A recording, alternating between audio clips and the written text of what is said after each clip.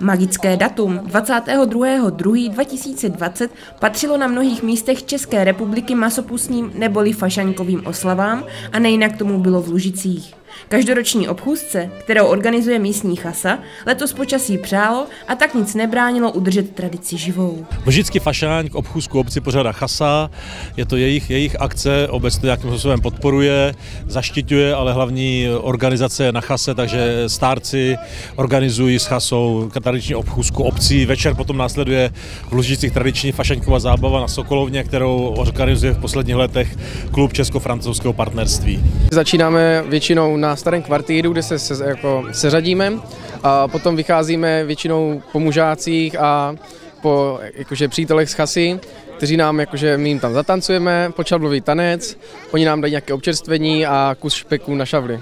Letos ten průvod je velice pěkný, milý.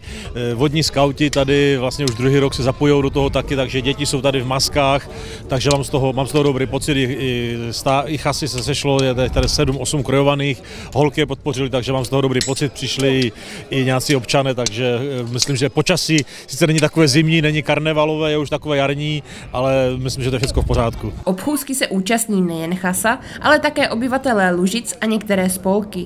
Už dva roky například průvod obohacují také vodní skauti. Je zjevné, že jsme šli tentokrát za rytíře. Vždycky si vybíráme masku tak, aby tam byl nějaký prvek buď šavle, nebo meče, nebo něco takového.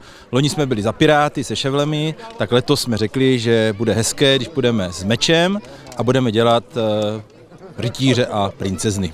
Máte krásné kostýmy, odkud je máte? Tak děti si kostýmy vyráběly z části sami, eh, hlavně si zdobili štíty, eh, dělali si masku, holčičky malovali korunky, no a my pánové jsme využili té možnosti a chtěli bychom tímto poděkovat skupině hysterického šermu z Hodonína, dračímu úsvitu, že nám půjčili ty krásné, tohle krásné brnění, takže děkujeme.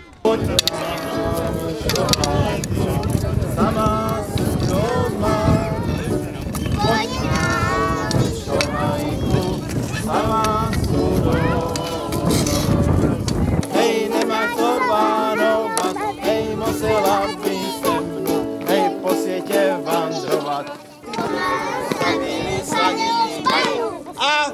啊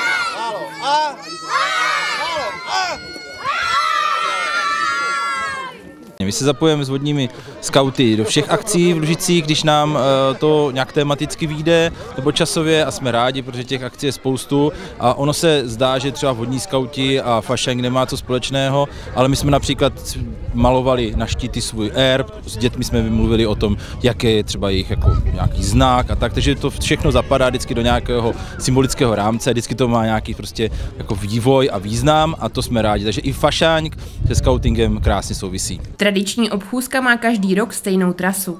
Nesmí chybět zastávky u mužáků a také samozřejmě na obecním úřadě. Každé zastavení je plné veselí a tradičních tanců. Hey,